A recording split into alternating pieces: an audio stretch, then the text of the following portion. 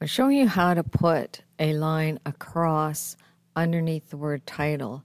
We have used this blank line, horizontal line, a few times and um, selected it, double click, you know, change the the color and whatnot. We've we've done this a few times, but I want to show you a different method. Uh, you can see that this one, it's not really snug right up to the title there. And so there's another method to do this, and I'm going to show it to you.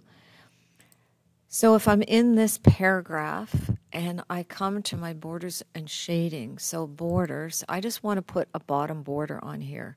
It's going to span across the whole width of the page.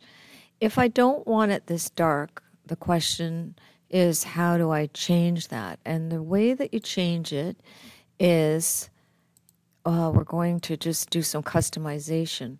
So when I come into borders and shading here in the borders tab, you can see the line, the bottom border. And perhaps if I wanted a different color, I change all my settings to the settings that I would like.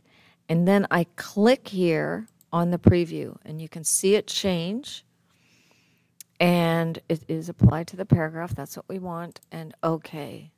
And that is how you can use that uh, to put across the page there.